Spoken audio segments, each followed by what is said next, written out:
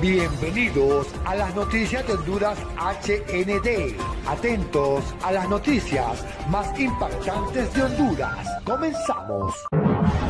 La acusación formal alega que desde al menos alrededor de 2004 hasta alrededor de 2022, inclusive Hernández, que fue presidente de Honduras durante dos mandatos, participó en una conspiración corrupta y violenta. Ha rechazado enérgicamente los argumentos de la fiscalía que sugieren que recibió pagos de sobornos por parte de este cartel. La fiscalía ha presentado pruebas que alegan que Hernández recibió alrededor de un millón de dólares en sobornos para financiar financiar su campaña política durante las elecciones presidenciales de Honduras en 2013. Asegura que sus testigos dijeron la verdad. Usted escuchó que supuestamente el Chapo viajó personalmente a Honduras para entregar el millón de dólares. ¿Asumiría este tipo de riesgo? Dame un respiro. Perdón si estoy siendo sarcástico, solo te estoy pidiendo que uses tu inteligencia callejera de Nueva York. Stadville intenta desligar a Juan Orlando Hernández de las actividades ilícitas de Tony Hernández.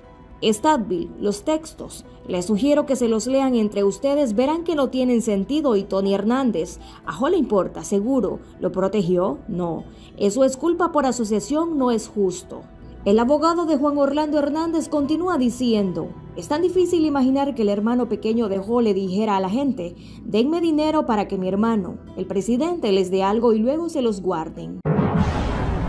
El Departamento de Justicia está adoptando un enfoque integral para proteger a nuestras comunidades y nuestro país de los delitos violentos, señaló el fiscal general Merrick Garland. El departamento está comprometido a desarticular todo el ecosistema de las redes de tráfico de drogas que dañan al pueblo estadounidense, sin importar cuán lejos o cuán alto debamos llegar. En ese caso, los fiscales establecieron que Tony Hernández distribuyó millones de dólares de los cárteles a candidatos políticos pero hoy Juan Orlando negó haber conspirado con su hermano y haberse reunido con narcotraficantes, a pesar de las fotografías en donde se le ve abrazando a Aurelio Valle del cártel Los Valle.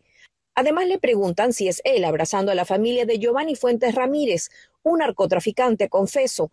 Entre risas, Hernández contesta que podría ser él, pero no lo recuerda. Su esposa publicó en redes sociales Hoy mi esposo subió al estrado para declarar la verdad de todas las mentiras conspiradas y trampas que tejieron sus enemigos.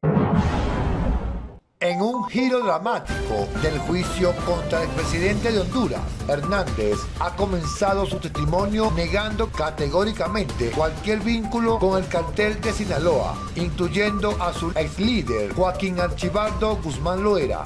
Renato Stadville, usted escuchó el testimonio del propio señor Hernández. Quería hablar, quería dejar las cosas claras. No iba a dejar que mintieran al respecto. Lleva años luchando contra ellos.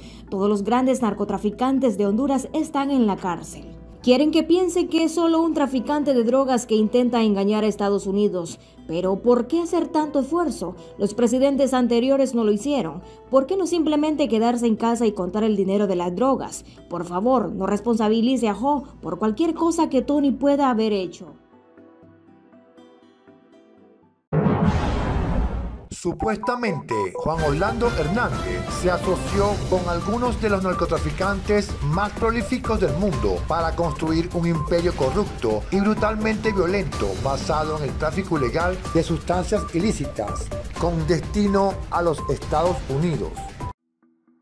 El abogado de Juan Orlando Hernández, Renato Stadville, repitió que las iniciales TH no están relacionadas con Tony Hernández. En el alegato final, el abogado defensor reiteró al jurado que debe usar la inteligencia callejera para declarar inocente a su cliente. Se espera que el juicio culmine el día de mañana y así el jurado entre en un proceso de deliberaciones. Suscríbete a las noticias de Honduras HND. Déjanos tu like, déjanos tus comentarios y no te pierdas las noticias más importantes de Honduras. Nos vemos en un próximo reporte.